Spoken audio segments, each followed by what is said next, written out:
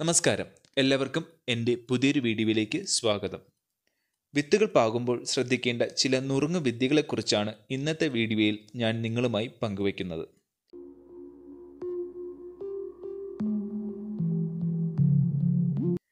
പച്ചക്കറി വിത്തുകൾ പലരും പല രീതിയിലാണ് പാകുന്നത്. ചില വിത്തുകൾ പാകിയാൽ മുളക്കില്ല വിത്തുകൾ പാകുമ്പോൾ ശ്രദ്ധിക്കേണ്ട ചില കാര്യങ്ങളുണ്ട്. വിത്തുകൾ വലിപ്പത്തിന്റെ അടിസ്ഥാനത്തിൽ രണ്ടായി തിരിച്ചാൽ വലിപ്പം കുറഞ്ഞത് ഒരു കോട്ടൺ തുണിയിൽ കിഴി പോലെ കെട്ടി രണ്ട് മണിക്കൂർ വെള്ളത്തിൽ അല്ലെങ്കിൽ സ്യൂഡോമോണസ് ലായനിയിൽ കുതിർത്ത ശേഷം നേരിട്ട് മണ്ണിൽ നടാം. ഉദാഹരണം ചീര മുളക് മുള്ളങ്കി തക്കാളി വഴുതന. വലിപ്പം കൂടിയ വിത്തുകളാണെങ്കിൽ നാല് മുതൽ ആറ് മണിക്കൂർ വെള്ളത്തിൽ അല്ലെങ്കിൽ സ്യൂഡോമോണസിൽ കുതിർത്ത് മുളപ്പിച്ച ശേഷം നടാം.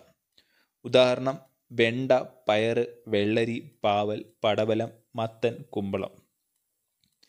നേരിട്ട് മണ്ണിൽ നടന്നവ മണ്ണ് പാകപ്പെടുത്തിയ തടത്തിൽ വിതറിയാൽ മതിയാകും. ചീരവിത്തുകൾ പോലുള്ളവ അല്പം ഉണങ്ങിയ മണലുമായി കലർത്തിയിട്ട് മണ്ണിൽ വിതറിയാൽ മുളച്ചു വരുന്ന തൈകൾ തമ്മിൽ അകലമുണ്ടാകും. ഇങ്ങനെ വിത്തിട്ടതിനു ശേഷം ഒരു സെന്റിമീറ്റർ കണത്തിൽ മണ്ണിട്ട് മൂടിയ ശേഷം നന്നായി സ്പ്രേ ചെയ്ത് നനയ്ക്കണം. ഈ വിത്തുകളെല്ലാം അല്പസമയം കഴിഞ്ഞ് ഉറുമ്പുകൾ അടിച്ചുമാറ്റി കടത്തുന്നത് ശ്രദ്ധിച്ച് അവയെ തടയണം. മഞ്ഞൾപ്പൊടി വിതറിയും നാല് വശങ്ങളിൽ റവ അരിപ്പൊടി തുടങ്ങിയ വിതറിയാലും വിത്ത് ഉറുമ്പുകൾ എടുക്കുന്നത് തടയാം. ദിവസേന രാവിലെയും വൈകിട്ടും നനച്ചാൽ ഏതാനും ദിവസം കൊണ്ട് തൈകൾ മുളയ്ക്കും. അവ പിന്നീട് പറിച്ചു മാറ്റി അകലത്തിൽ നടാം. വിത്തിൽ വേര് വരുന്നത് കൂർത്ത വശത്തിൽ നിന്നും ആണ്. അതിനാൽ വിത്തുകൾ നടുമ്പോൾ അവയുടെ കൂർത്ത വശം താഴേക്കാക്കി നടണം.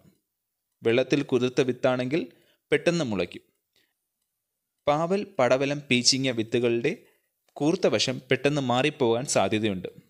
കൺഫ്യൂഷനുള്ളവർ ഇവ നടുമ്പോൾ അവയുടെ വിത്ത് മണ്ണിൽ കുറുകെ പാകുക. വിത്തിന് ഒരു സെന്റിമീറ്റർ ആഴത്തിലധികം കുഴിച്ചിടരുത്. മുളയ്ക്കുന്നത് വരെ എപ്പോഴും ഈർപ്പം നിലനിർത്തണം. വെള്ളം അധികമായാൽ വിത്ത് ചീഞ്ഞു പോകും മുളപ്പിച്ച് നടേണ്ട വിത്തുകൾ ഓരോന്നും പ്രത്യേകമായി ആറ് മണിക്കൂർ സമയം വെള്ളത്തിൽ കുതിർത്ത് വെക്കണം. പിന്നീട് ദ്വാരമുള്ള ഒരു ചിരട്ടയിൽ കോട്ടൺ തുണി നാലായി മടക്കിയതിന് മുകളിൽ വിത്തുകൾ ഇട്ടതിനു ശേഷം തുണിയുടെ അറ്റം വിത്തിന് മുകളിലേക്ക് മടക്കിയിട്ട് വെള്ളം നനച്ച് അവയുടെ മുകളിൽ ചെറിയൊരു കല്ല് വെച്ച് തണലെത്ത് വയ്ക്കുക അധികമുള്ള വെള്ളം ചിരട്ടയുടെ അടിയിലുള്ള ദ്വാരം വഴി പുറത്തു പോകും. ഓരോ ഇനം വിത്തും പ്രത്യേകം ചിരട്ടകൾ വെച്ച് മുളപ്പിക്കണം. ദിവസേന രാവിലെ നനച്ചാൽ വെണ്ടയും വെള്ളരിയും പയറും മൂന്നാം ദിവസം മുളച്ചിരിക്കും. വേര് വന്ന വിത്തുകൾ പ്രത്യേകം തടങ്ങളിലോ ചാക്കിലോ ഗ്രോ ബാഗിലോ നടാം. ഇതിൽ പാവൽ പടവലം മത്തൻ തുടങ്ങിയ വള്ളിച്ചെടികളുടെ വിത്തുകൾ ദിവസേന നനച്ചാലും മുളയ്ക്കാൻ ഒരാഴ്ചയിലധികം ദിവസം വേണ്ടിവരും. അവയ്ക്ക് വേഗത്തിൽ മുള വരാൻ നനഞ്ഞ വിത്തിന്റെ മുള വരേണ്ട കൂർത്ത അറ്റത്ത് നഖം കൊണ്ട് തോടിന്റെ അഗ്രം അടർത്ത് മാറ്റിയാൽ മതിയാവും. അങ്ങനെ ചെയ്താൽ എളുപ്പത്തിൽ വേര് വരും. ഇങ്ങനെ മുളപ്പിച്ച് വേര് പിടിച്ച വിത്തുകൾ നനഞ്ഞ മണ്ണിൽ നടണം. അധികം ആഴത്തിൽ നട്ടാൽ അവ മണ്ണിന് മുകളിൽ വരാതെ നശിക്കാനും ഇടയുണ്ട്. ഗ്രോ ബാഗിലും ചാക്കിലും ഒന്നോ രണ്ടോ വിത്ത് വീതം പാകി തറയിലെ മണ്ണിൽ നിശ്ചിത അകലത്തിലും വിത്തുകൾ നടാം. വിത്തിട്ടതിനു ശേഷം ആ വിത്തിന്റെ കനത്തിൽ മാത്രം മണ്ണ് വിത്തിന് മുകളിൽ ഇട്ടാൽ മതി.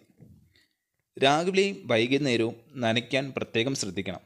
ചെറിയ തൈകൾ പറിച്ചു മാറ്റി നടുമ്പോൾ മൂന്ന് ദിവസം അവ വെയിലേൽക്കാതെ ശ്രദ്ധിച്ച് ജലസേചനം നടത്തണം. പാവൽ പടവലം വെള്ളരി എന്നിവയുടെ വിത്ത് ശേഖരിക്കുമ്പോൾ വിത്തുൾപ്പെടുന്ന മാംസള ഭാഗം ഒരു ദിവസം പുളിപ്പിച്ച ശേഷം നന്നായി കഴുകി പിഴിഞ്ഞെടുത്ത് ഉണക്കിയ ശേഷം നടാം. വെണ്ട പയർ വഴുതിന കായയോടെ സൂക്ഷിച്ച് ആവശ്യ സമയത്ത് പൊട്ടിച്ച് വിത്തെടുക്കുന്ന രീതിയേക്കാൾ നല്ലത് വിത്ത് വേർപെടുത്തി ഉണക്കി സൂക്ഷിക്കുന്നതാണ്. വിത്ത് കടുത്ത വെയിലിൽ ഇട്ട് പെട്ടെന്ന് ഉണക്കരുത്. തണലത്ത് ഉണക്കി സൂക്ഷിച്ചതാവണം. പഴയ കാലത്ത് പാവൽ പടവലം മത്തൻ കുമ്പളം വിത്തുകൾ പച്ച ചാണകത്തിൽ പൊതിഞ്ഞ് സൂക്ഷിക്കാറുണ്ട്. ടെറസ് കൃഷിയിൽ രാവിലെയും വൈകിട്ടുമുള്ള ജലസേചനം അനിവാര്യമാണ്. വേനൽക്കാലത്ത് രണ്ട് ദിവസം നനയ്ക്കുന്നത് നിർത്തിയാൽ എല്ലാ ചെടികളും ഉണങ്ങി നശിക്കാനിടയുണ്ട്. ഒരു നേരം നനയ്ക്കാൻ കഴിഞ്ഞില്ലെങ്കിൽ തൊട്ടടുത്ത് ലഭ്യമായ നേരത്ത് ധാരാളം വെള്ളമൊഴിച്ച് ചെടി ഉണങ്ങാതിരിക്കാൻ ശ്രദ്ധിക്കണം. ചെടി നടുന്നത് ടെറസിലാവുമ്പോൾ അവയെ എല്ലാ ദിവസവും പരിചരിക്കണം. ചുരുങ്ങിയത് രണ്ട് നേരമെങ്കിലും ടെറസിൽ കയറണം. വളർച്ചയുടെ ഓരോ ഘട്ടത്തിലും അവയുടെ സമീപത്ത് വന്ന് വെള്ളമൊഴിച്ച് വളം ചേർത്ത് കീടങ്ങളെ നശിപ്പിച്ച് പാകമായ പച്ചക്കറികൾ പറിച്ചെടുത്ത് അങ്ങനെ അവയോടൊപ്പം ഇത്തിരി നേരം ചിലവഴിക്കണം. ശ്രദ്ധിക്കുക വിത്ത് ശേഖരിക്കുമ്പോൾ നടുഭാഗത്തെ വിത്താണ് ഏറ്റവും നല്ലത്.